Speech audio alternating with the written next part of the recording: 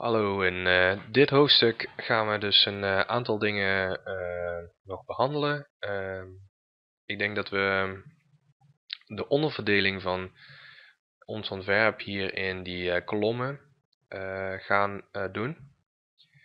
Dus we hebben eigenlijk al diffjes aangemaakt in grote verdeling. En ehm, we gaan nu eigenlijk het opsplitsen in nog wat kleinere delen. Ik heb even Photoshop opgestart. Um, even ons document er weer bij pakken. Ik zal Dreamweaver er ook bij pakken met, onze, met ons indexbestand. Even erbij kijken. Dus wat we eigenlijk gaan doen is dus uh, de subheaders in onze kolom zetten en uh, tekst erin zetten en plaatjes. En op die plaatjes gaan we nog wat, uh, wat speciaals doen. Een witte omleiding. Even de bestand er weer bij pakken. File. Hallo. Beetje traag. Ah, daar is die. Oh. Nog een keer. Bestand. Openen. Even wachten. Dus die onderverdeling, ik zal even het blokmodel uitzetten. Dat is deze waar ik het uh, naar refereer. Ik zal even inzoomen. En we hebben dus een class aangemaakt. Dus in principe hoeven we die uh, onderverdeling straks maar uh, ja, niet al te veel te doen. we gaan er dus een plaatje in plaatsen. En dat plaatje heb ik dus zo gesneden dat we dus alleen dit plaatje hebben. Dus niet die witte rand met het grijs randje, maar gewoon alleen dit. En wat we gaan doen straks is dus die witte rand en die grijze rand met staalsheet uh, uh, ervoor zorgen dat die er is. Verder wat we gaan doen is dus uh, een diffje aanmaken voor de tekst hier. Diffje aanmaken voor het plaatje. Ik denk dat dat nog niet eens nodig is, is want als we al een diffje voor de tekst hebben dan komt dat al goed. En wat je ook ziet hier, dus, dus de subheader en een lijntje. En dat lijntje hebben we dus op meerdere plekken staan. Ik zal even een beetje uitzoomen en weer inzoomen. Beetje. Bij die twee klomps tekst hebben we dat lijntje ook. En hieronder hebben we dat lijntje ook. Het enige verschil is met dit lijntje hier beneden is dat die wit is. En hierboven is die grijs. Dus het zijn twee verschillende plaatjes. Nou, we gaan aan de slag. Um, hoe we een subheader erin moeten zetten, dat, uh, dat weten we al. Hè? Dat is dus een H2. Dus ik uh, selecteer deze tekst, kopieer het, dus Ctrl-C of Command-C voor de Mac gebruikers. Ik ga naar mijn uh, Dreamweaver bestand toe. Ga naar de juiste plek. Je kunt hier ook in klikken, dan ben je er wat sneller. Dus die tekst halen we weg. Vervangen we met de gekopieerde tekst, Ctrl-V. En we maken er een H2 van. H2. En zoals alle dingen eigenlijk ook weer moeten sluiten, is het met een slash H2 weer gesloten. Nou, ik zal er nog een nummering bij zetten, zodat je wel kunt zien dat het uniek is. Um, straks gaan we bij die andere dat erin kopiëren.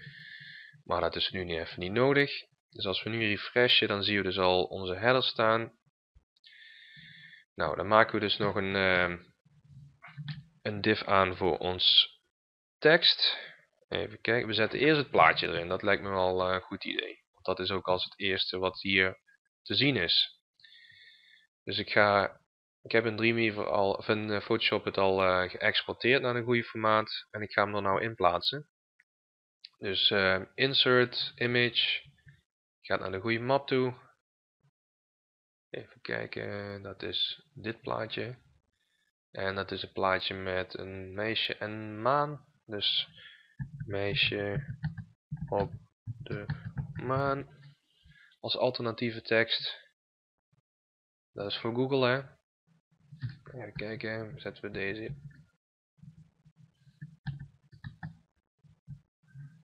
Oké, deze ook een beetje goed in laten spelen. Je ziet dus dat ik nog steeds die, uh, dat intappen nog steeds gebruik. Wacht, we zijn al hier. En dat is eigenlijk best wel belangrijk dat je altijd gewoon kunt zien van oké, weet je al, dit staat hierin. Want het kan nogal snel, op zich is dit nog redelijk overzichtelijk, ook met die witruimtes en zo. Maar uh, ja, voordat je het weet heb je heel snel een rommeltje. En nu gaan we een uh, div aanmaken. En die geven we een class. En die hebben we nog niet in onze stylesheet gemaakt, dus we gaan andersom werken. Uh, even kijken, we noemen dit uh, kolomtekst. Ja, 1 derde, 1 derde kolom tekst. Het is een lange naam, maar dan weet je tenminste wat het doet. En weer sluiten. En even kijken, daar zetten we dus onze tekst in, hè, want zo heet die ook, 1 derde kolomtekst. Dus ik ga even naar mijn Photoshop document. En ik ga deze tekst even selecteren. Je ziet dat het gewoon lorem ipsum tekst is, dus dat moet nog straks echt inhoud gaan krijgen. Maar ja goed, daar zijn we dus niet hier voor mee bezig. We zijn gewoon voor het programmeren en hoe het eruit ziet. Nou, ik heb deze tekst gekopieerd. En dit moet paragraaftekst worden. Dus we maken daar een P omheen.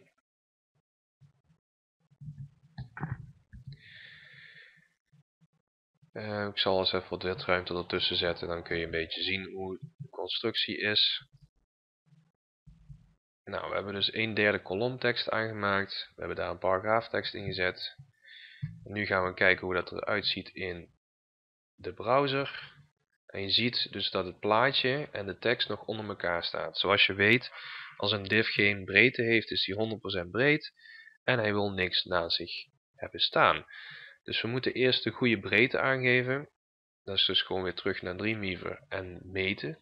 Uh, kijk, als we de hulplijnen aanzetten. Dat is dus... Even kijken... Ik denk 150 ja, het zal wel 150 zijn. Heeft net 1 pixel hier te veel. Kijk eens. Ja, 150 pixels breed. De hoogte is niet belangrijk. Dus we gaan de breedte aangeven in onze stylesheet. En wat we doen is eerst even deze kopiëren zodat we geen typfout maken. En we gaan een class aanmaken bij onze 1 derde kolom. En dat is dus hier achter de 1 derde kolom laatste plaatsen we ook onze 1 derde kolom tekst. Het, op zich is het natuurlijk niet zo belangrijk waar je het precies neerzet, zoals ik al zei. Maar uh, ja, ik heb het altijd een beetje op dezelfde plek staan zoals in de pagina staat, zodat je niet in de stylesheet hoeft te zoeken. Um, ehm, 150 pixels was het. En uh, zoals we hebben gezien moet het ook een float right hebben. Want hij moet aan de rechterkant uh, komen staan.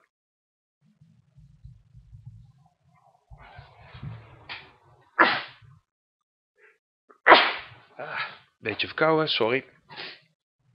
Um, even kijken. Nou, dit ziet er al redelijk goed uit. En nu gaan we dus het plaatje nog uh, dus de witte rand geven en, uh, en het grijze randje wat je hier ziet. Dus dat witte randje en het grijze randje, dat gaan we erin zetten. En uh, je zou in principe dat witte en grijze randje ook met het plaatje mee kunnen exporteren voor een, gewoon een één plaatje. Uh, alleen, ja, elke keer als je dan een nieuw plaatje wil plaatsen, moet je dus uh, zo'n witte rand en dat grijze randje eromheen doen. Dus dat is best wel veel werk. Als je het ook gewoon in code kan doen, is het veel makkelijker. Wat we gaan doen, is eigenlijk het plaatje een achtergrondkleur geven. Dat is dus die uh, witte kleur. En dan zou je denken, ja, achtergrondkleur van een plaatje, dat, dat ga je niet zien. Maar we hebben dus ook padding gemaakt. En dan kan het dus wel. Dus even kijken. Dit is ongeveer een breedte van... Nee, een hoogte van 8 pixels. Kan dat kloppen? Kijken. Uh, 6 pixels. Of 7. Even goed kijken. Ik denk 6 pixels. Oké. 6 pixels eromheen. En uh, wat we doen, is dat we die 1 derde kolom gaan gebruiken voor onze uh, image aan te geven. Dus net als wat we met die speciale uh, paragraaf hebben gedaan, gaan we dus nu ook onze image uh, koppelen aan die 1 derde kolom. En wat we doen is eigenlijk uh, IMG. Dat is hetzelfde als wat je hier ziet in de broncode. Hè? Even kijken, IMG.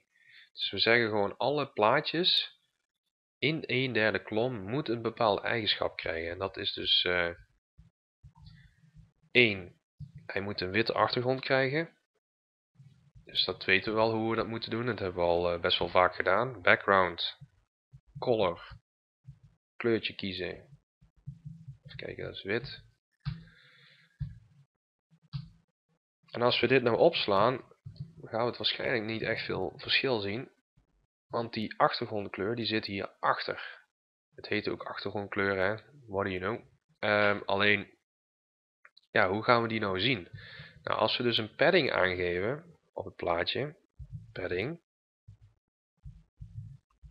van 6 pixels bij 6 pixels bij 6 pixels bij 6 pixels.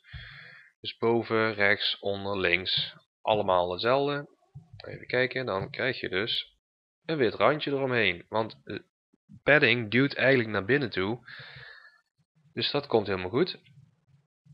Dus we hebben nou een wit randje eromheen. En uh, nu willen we dat grijze randje maken. En randjes kun je sowieso maken met uh, een stukje code dat uh, border heet. Dus omdat we nou de background color en een padding op hebben gezet, hebben we nou een mooi vierkantje er, wit vierkantje eromheen als een lijstje. En om dat lijstje kunnen we dus nog een rand zetten en dat heet border. Ik moet alleen even kijken wat voor kleur het heeft. Een lichtgrijze kleur. Kleurencode kopiëren. Ik doe dit gewoon door middel van de color picker aan te klikken. Klik op de kleur hier. Pak die code. Zeg oké. En we gaan een border aangeven. Dus als we een border willen aangeven, dus een randje, dan zeg je border. Nou, dan geven we de kleur aan. Kies even een kleurtje en plak mijn kleur erin. We zeggen dat het 1 pixel groot is, dus we doen een spatietype. Dan kun je weer een nieuwe eigenschap eraan geven. Dan zeg je 1 pixel. Dus dan wordt die 1 pixel dik. En we geven aan dat die een solid moet zijn. Want je kunt ook een, uh, gestreepte lijn eromheen zetten of een puntjes. Maar wij willen gewoon een solid hebben. Dus gewoon één rechte lijn zonder onderbrekingen. En als het goed is hebben we nu dus een wit vlak eromheen. Dus een witte kader en nu dus ook het grijze randje. Het grijze randje zie je haast niet. Dat komt omdat uh, ja, het is een heel licht grijs kleurtje. Nu we dit erin hebben staan, uh, moeten we, kunnen we wel eigenlijk de achtergrondkleur uitzetten van onze um, van ons vlak, zullen we zeggen, van onze div. Dus dit gaan we ook even doen. Gaan we naar boven toe, dan zeggen we 1 derde kolom background color. Halen we weg. 7. Kijken. Nou, dat ziet er al goed uit. Um, wat we nou missen is dat, dat, nu zie je het grijze randje ook beter is dat uh, we missen het lijntje nog. En uh, waarschijnlijk daardoor komt het ook dat deze een beetje uit het lood staat. Oké, wat we nu nog gaan doen is dus uh, die lijntje erin zetten, dat lijntje. Want als we kijken in onze browser, dan zie je dus dat ons plaatje nog iets te hoog staat. En de tekst iets lager. En dan moet toch eigenlijk een lijn in staan. Nou, ze hebben in HTML hebben ze dus gewoon een code voor een lijn neer te zetten. En dat is eigenlijk een HR. Ik zou niet weten waar de afkorting precies voor staat. Maar dit is een van die weinige elementen, net als een image. Die dus eigenlijk opent en sluit op dezelfde plek. Dus, dus niet als een H2 of een div of eigenlijk bijna welk ander element dan ook. In HR, daar komt ook nooit wat tussen te staan. Dus de, het heeft ook eigenlijk niet echt iets nodig om in twee elementen te bestaan. Dus je sluit hem meteen. Als je dit dus doet, de standaard stijl van zo'n lijn, die is niet zo heel fraai. Dat is dus gewoon een zwart lijntje met een soort schaduwtje erin. En ik heb dat gestyled. Dus wat we gaan doen is dus de HR ook stijlen.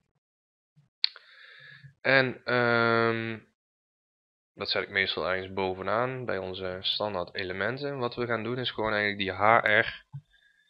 Gewoon zeggen van al, als er een HR in staat, dan moet hij dus uh, een hoogte hebben van 1 pixel.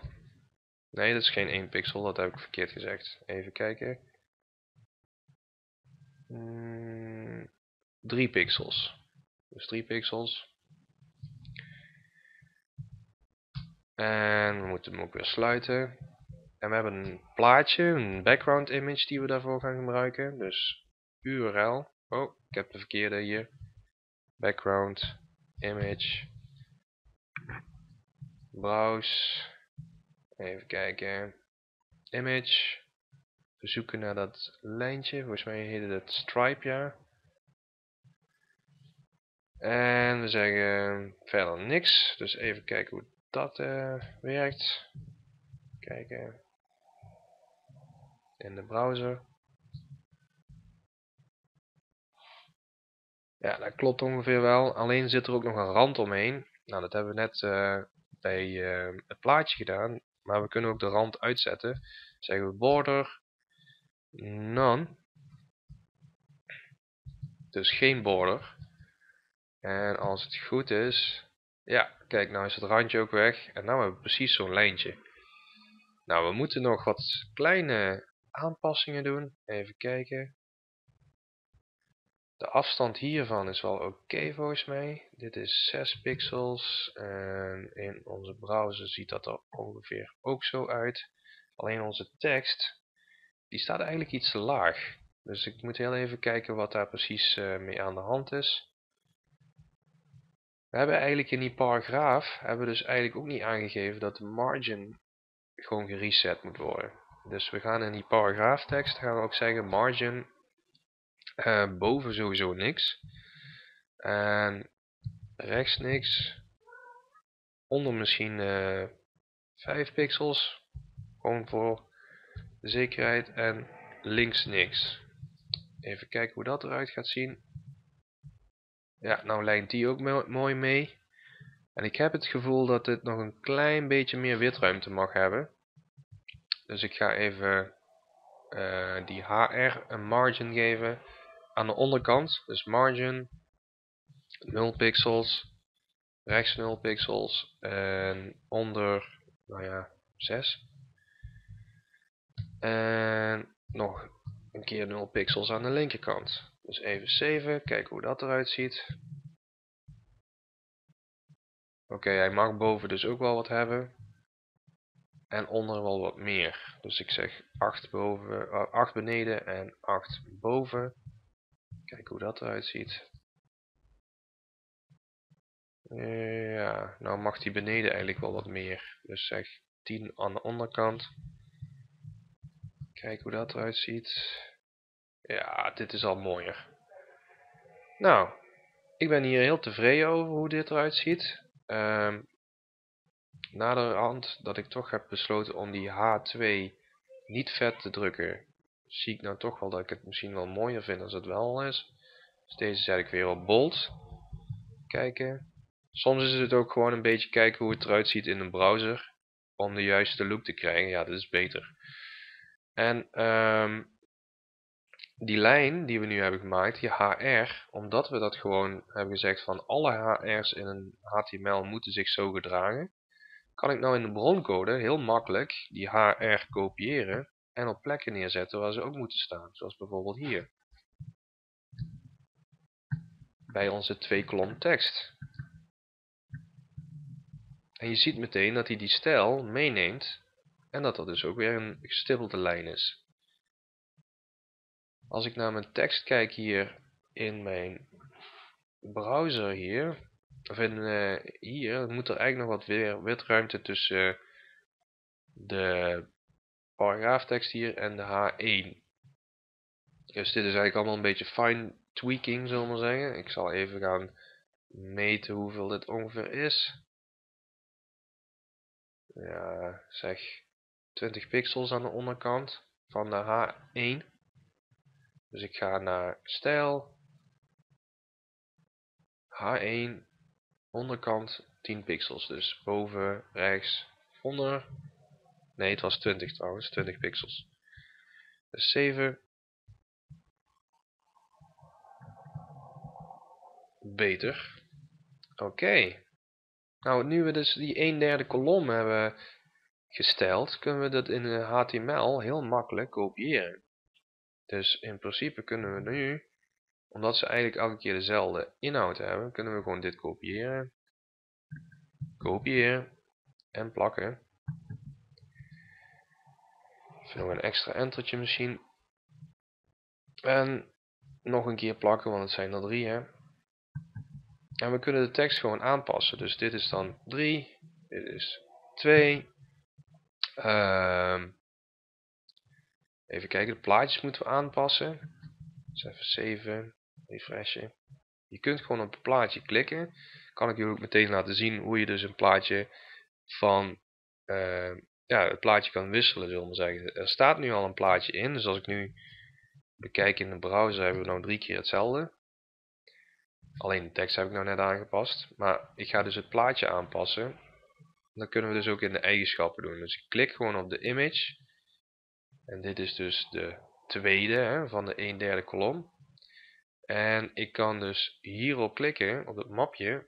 En ik zeg, oké, het moet niet werk 1 zijn, maar werk 2.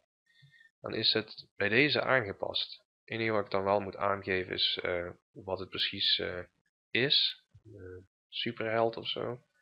Anders heb je de alternatieve tekst niet kloppend. Super, held, enter. En bij de derde gaan we het plaatje ook veranderen. Kijken, dat wordt dan auto in vlammen. Dus uh, auto in vlammen. Enter. Je ziet dus dat de alternatieve tekst is aangepast en ook de bron waar het plaatje geladen moet worden is veranderd in verhouding met die andere. Hier staat work 3, hier staat work 2 en hier staat work 1. Dat is dus de naam die ik heb gegeven aan de JPEGs. Als we nu gaan kijken hoe dat eruit gaat zien, dan zien we dus ook gewoon dat hij dus die uh, witte rand plus het grijze randje mee heeft genomen. Nou, dat is echt helemaal super. En nu zijn we dus eigenlijk al heel eind. Dus wat het volgende stukje gaat worden is dus uh, navigatie. En daarna gaan we nog uh, kijken naar Google Maps en een YouTube filmpje erin plaatsen. En dan hebben we onze pagina klaar. Dus dit wordt voor het volgende deel.